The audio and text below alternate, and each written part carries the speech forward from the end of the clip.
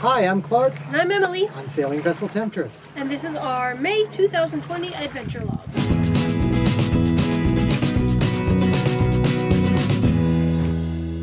Well, just like most people in the world, and probably you, we haven't done a whole lot of moving this month. Uh, our original plan this year was to go down to Panama and Colombia, and that is definitely not going to be the case. Uh, we may end up going down to around in the Dominican Republic. We may end up going back to the States, but for now, um, the legal thing for us to do is stay exactly where we are. Yeah, we also, our initial visa application isn't over till the end of June, and I've just been telling anyone that asks, I'm not thinking about till the end of June. And I'm glad because the rules just keep changing. In fact, we got some new rules. Um, as of yesterday, we can go to the beach. Yes, that's We're off we're the boat. filming here and not on our boat today. And let's see, next in in a week and a half, we get to sail around to other islands if we want to, Yep, and then in a month, friends can come and visit. The airplanes will start flying. yep. So it's been, uh, we've been locked down. I mean, that's as simple as it is. So um, we've been staying right here. Uh, the weather's been changing a little bit. It gets a little hotter and a little hotter, a little hotter all the time. Uh, it's now officially hurricane season. Lots of rain, which is good for us because we've been collecting a lot of it in Yep. our awning that we have. So, um, yeah.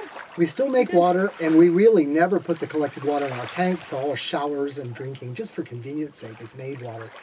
But Emily collects water, and then laundry, and uh, cleaning up after sanding, and all kinds of projects. It's just nice to have a unending supply of fresh water from that awning. So that's where we are, and that's what the, the weather's like here. Um, it's not a bad place to be stuck. that's for sure.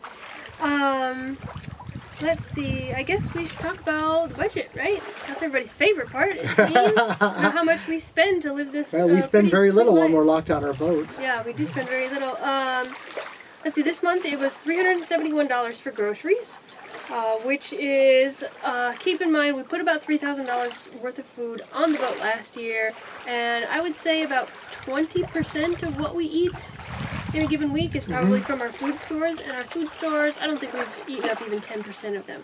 Um, but the fresh fruits and vegetables and things that we bought, $371 this month. We spent $113 on communication, which is a combination of Republic Wireless for my phone and keeping my phone number. We have a Google Fi phone, which is really our main uh, internet source while we're traveling between countries. However, because we're staying here for so long, we've taken up a local plan with something called Aliv. So the total of all three of those adds up to $113. Uh, soon we'll be down, hopefully, just to the Google Fi. It's more than we normal, normally spend on communications, but well, you know, we knew we were going to be in lockdown, and we were very happy to have the high-speed limitless data that we have with the local plan. So it's worth it. Uh, fuel cost has been pretty low this month. Uh, $41 for fuel. Uh, $40 for some alcohol, just buying uh, a little bit to top up.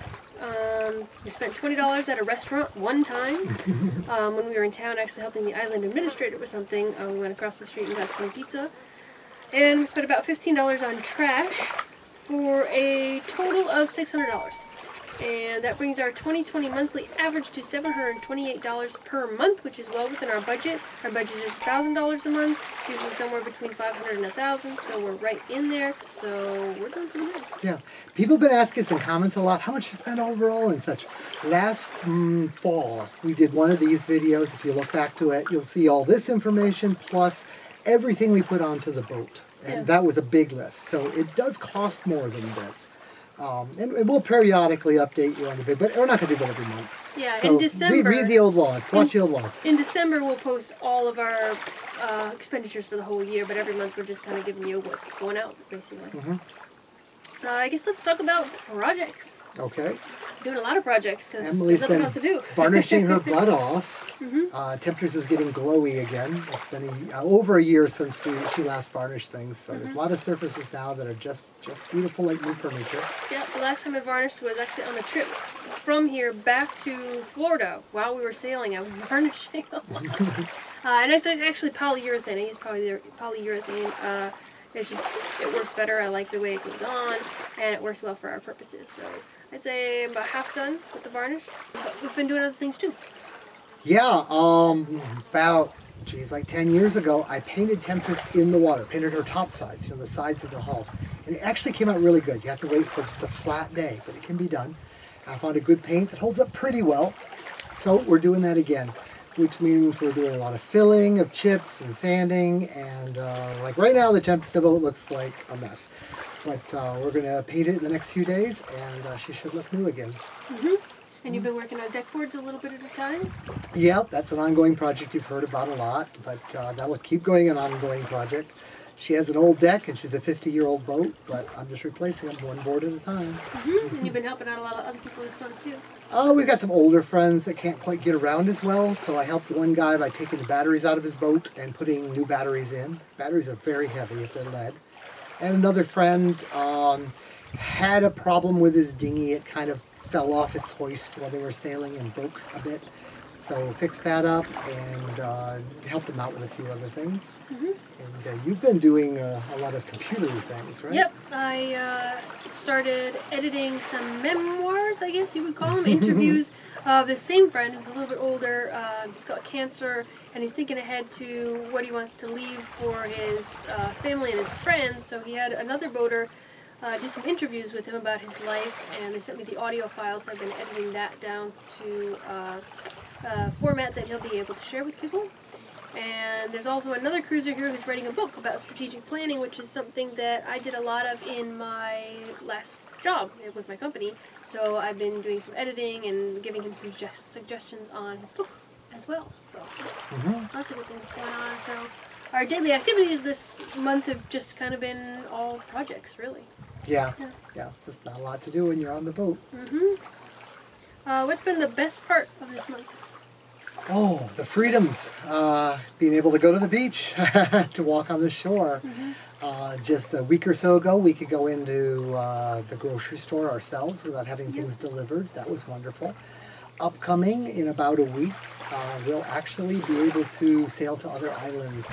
Um, I guess you really have controls over the islands that have COVID, but most of the Bahamas is COVID free. So we can sail around those islands if we choose to. And in a couple weeks, uh, commercial planes and boats can come in and out, so um, we may be able to have friends or guests come and stay with us. So that'll be that'll be nice to feel less isolated and to feel more like a human being again and be able to travel. So, what about the worst part? Well, um, this is supposed to be a really bad hurricane season, and I believe them because we've already had one.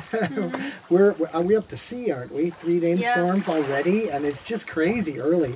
I'm always still sailing by this time. I don't really worry about getting someplace safe till July, but it's a little different this year. So we have to think a little more seriously about what we're going to do for the summer, where we're going to uh, seek shelter if something came. Yep, we got plans and backup plans. Yep.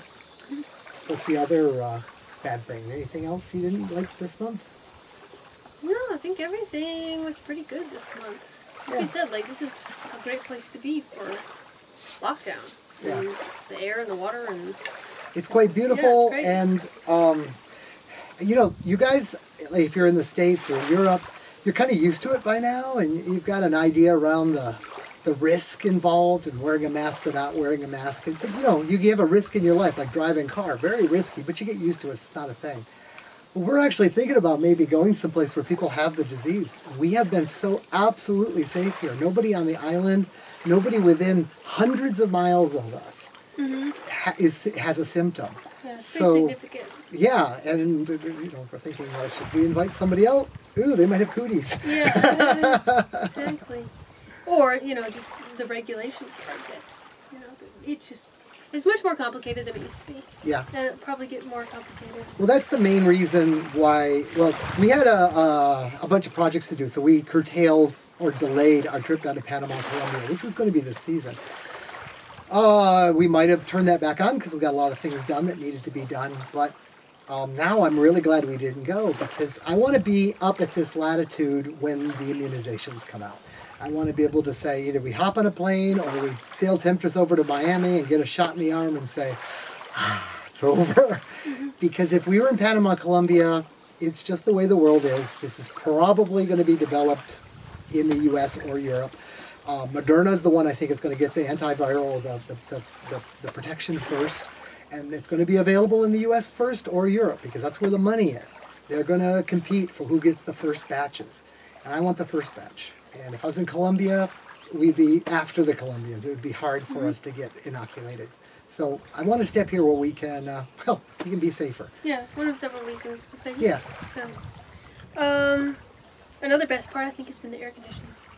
Yeah, we probably mentioned that too much, but oh my God, uh, we're trusting it more. We're running it more. You know, I first started, I, I don't know if it's going to work tomorrow. It worked yesterday, and now it's like, oh, looks like it's going to rain. Shut the boat down. It looks like there might be a few bugs. Shut the boat down. It's just a little too hot. Shut the boat down. Yeah. And turn on a It's getting very switch. Uh, we've got this little tablet here, and uh, um, among other things, among also being notes for our videos, uh, it can play movies. So we set this up in the aft cabin and watch a TV show or a movie, and then go to bed in the nice, cool comfort. Yeah, it really makes a difference, uh, especially as the heat is getting Yeah. uh, higher. Mark my words. Um, years and years ago, in 1999, I bought a spare refrigeration compressor, uh, and uh, took, because I was going down to Mexico.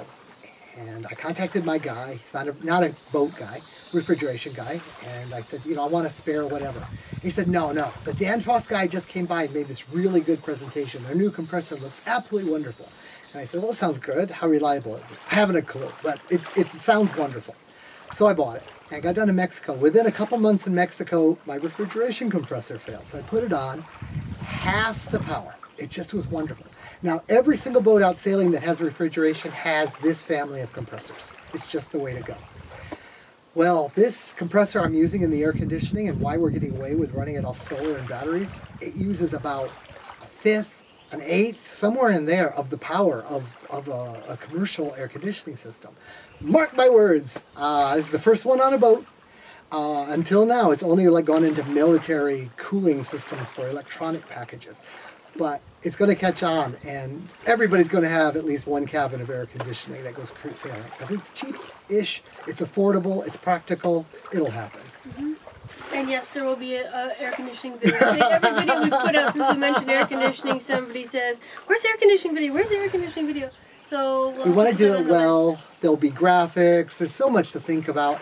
It's a little complicated. Got to decide how much we tell about, how much we don't, because some of it's just confusing. Mm-hmm. I think what I'm going to do is describe it all and show it all and talk about it, and then say, if you want this on your boat right now, it's not a product yet. If you really want to make it yourself, probably the best thing to do. We have got a deal on Patreon where you can ask us about anything. Sign up on Patreon, support us a little so that we have that phone conversation that we can't have over YouTube. And tell me about your boat, and I'll get you all set right Yeah, up. you And can then you'll have a good today if system. you wanted to. Yeah, Yeah, because it'll take us probably another month to get out a video about air conditioning. But if you're really interested, yeah, just join Patreon. yeah, sure. Get you going tomorrow. Yeah. We pride ourselves on living intentionally. We like that we sail, but really what we do is live intentionally. We try not to be a sheep. How worked we a sheep this month? Uh, Uh, so intentional living, like we said, like we've been very intentional about investing in the community of boaters here and keeping everybody taken care of and kind of this good karma of give and take going. And now that the community is smaller, we're down to like 15 boats now. Mhm. Um, we've been switching our focus inward a little bit to we've burnt out a little bit. you know, we've got all these projects that we sort of delayed on our boat that we're getting back to all these projects that we're doing and just taking a look at our life and our choices and we probably need to eat a little less pizza and ice cream and drink a little less and do a little less social media scrolling, which we've sort of gotten into the habit of doing during isolation. So we've been starting to write um, some videos about our intentional life philosophy beyond.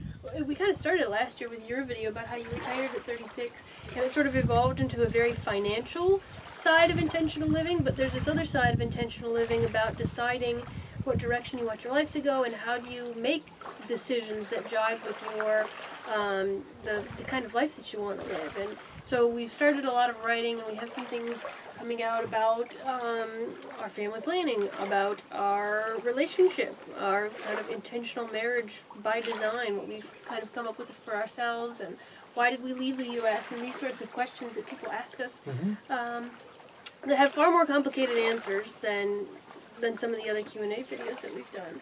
Half of that retiring at 36 video that I did is just my story up till now, and then the other half was some pointers on how to do it. I want to hear Emily's story. Mhm. I want to hear her do a video about what got her here, what got her into the mindset that you know let her be intentional. Yeah, and tiny houses and you know all the things that I did before I met you too. Kind Yeah. of were part of my intentional living philosophy. So anyway, we'll share uh, bits and pieces of that along the way. If you guys have questions about that or questions for us, you can leave them in the comments. And uh, speaking of questions, Mhm. um, our- we want to really involve our patrons this month. Uh, we were taking a look at our numbers recently, and what are we up to for? We are just a couple hundred away from 25,000 subscribers. And uh, that's kind of a big number. It sounds very round. Uh, so if you haven't subscribed, you know, push us over. Subscribe right now, right now. Uh, invite your friends. invite your friends, yeah. Uh, but, you know, having 25,000 subscribers in about, well, we had a thousand a year ago December. So like in a, a year and a third, we've got 25,000 subscribers. That's pretty fast That's growth. pretty awesome. Yeah. But our um, we have so many different kinds of subscribers. We have people interested in financial, we have people interested in sailing, we have people interested in my boat building videos. We have all kinds of these different things. So um, we've got 31 patrons right now who can send us messages back and forth. And we've put a message out to all of you who are on our Patreon page saying, you know, what do you want to see us do for videos? What questions do you have?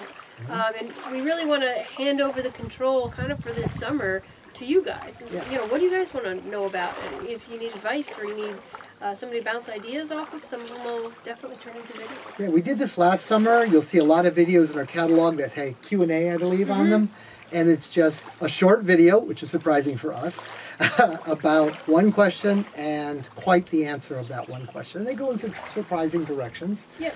and some of them are just how do you do this, and some of them what do you think about this. So uh, it can go either way. Please give us some more questions. Yeah, leave your questions. You can leave them here in this video. You can leave them in another video if you like. Or uh, best of all, you know, send them my Patreon and we'll get on the phone and talk to you about them if you want. Um, we can bounce the answers and ideas off of each other. So. Mhm. So that'll be going on probably for the next few months. All summer we'll be involving our Patreons more. And I think that's about it for this month. Did I forget anything? No, no. Um, I think that's about it too. Right. Thanks again, Bye. everybody, for watching. Bye.